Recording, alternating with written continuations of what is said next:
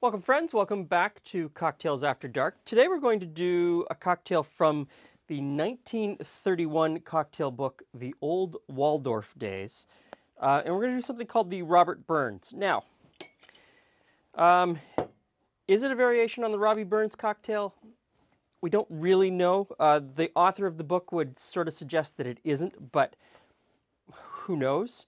There are several cocktails called the Robbie Burns, and they always start with Scotch whiskey. So today I'm going to use two different scotches, and we're going to see what happens. I'm going to use a Chivas 12 and a Dewar's 15. Which one is going to work best in this cocktail? Who knows? So it starts out with scotch, and then we go in with some vermouth. And as always, the recipes are in the description box below the video. Next in is some absinthe. And it says just a few drops of absinthe. So put that in and see what happens.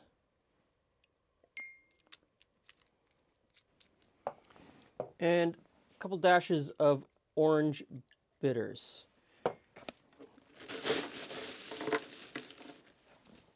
Ice the glasses.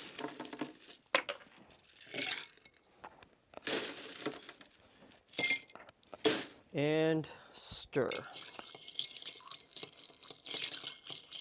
Some contemporary recipes for this cocktail that give credit to this 1931 printing uh, as the original recipe say instead of putting a couple of drops of absinthe into the mix, you should coat the inside of the glass, fill the glass with ice and water that you're eventually going to pour it into, and then pour it out, just so you leave a coating of absinthe inside. And I wonder if that's a holdover from that time period where absinthe was banned pretty much everywhere. Um, I'm not sure if that's from that time period. I know that a lot of people in that time period would have substituted a different, um, a different flavoring to cover up for the absinthe. Who knows?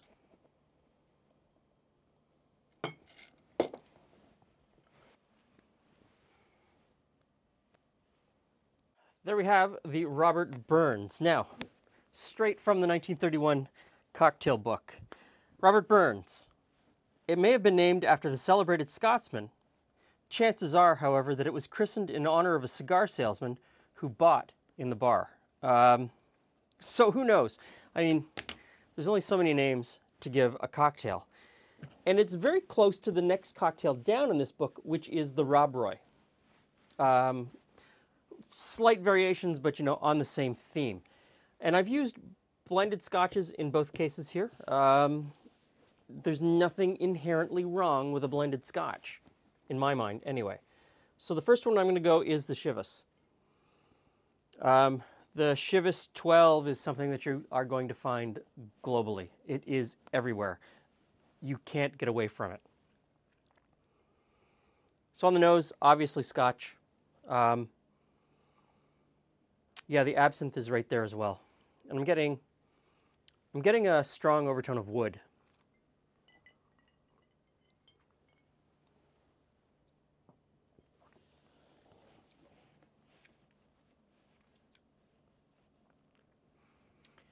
That's nice. That's nice. Um,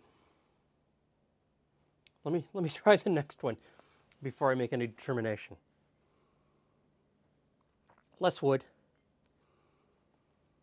Um, less of everything. Um, the overall aroma on this one is definitely muted. Not a bad thing, not a good thing. I haven't formed an opinion yet.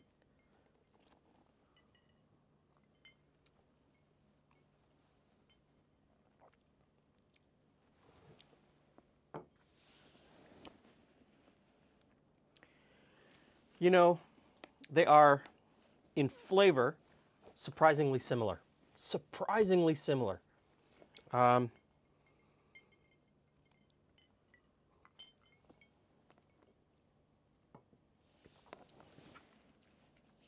in this case, a slight advantage to the Chivas over the Dewar's. Slight advantage to the Chivas. I think the Chivas in this combination with these ingredients sitting here on the table probably works better. Um, than the Dewar's. The Dewar's is, is, is muted. Um,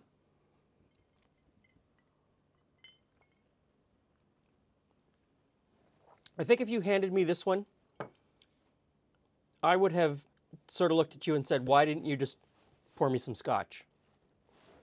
I don't think that the absence of the vermouth is bringing anything to this whiskey.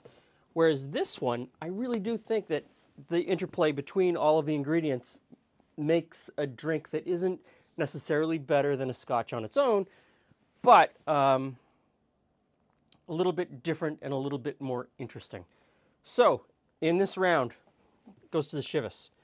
And this particular Robert Burns is quite nice. Um, I could see myself sipping this. A nice big clear ice cube that melts very slowly over time, subtly changing the flavors over the course of enjoying this. Yeah, I could drink that. Um, so, which whiskey would you mix into this, and which vermouth vermouth would you use? I'm using uh, I'm using a local craft brewed vermouth from from close to where I live. Um, I really like the flavor of this Dillon's vermouth. But let me know what you would use in this cocktail. Do you like this cocktail? Is this something that you would make? Is this something that you would try? And if you do try to make this, leave it down in the comments below what you thought. Thanks for stopping by. See you again soon.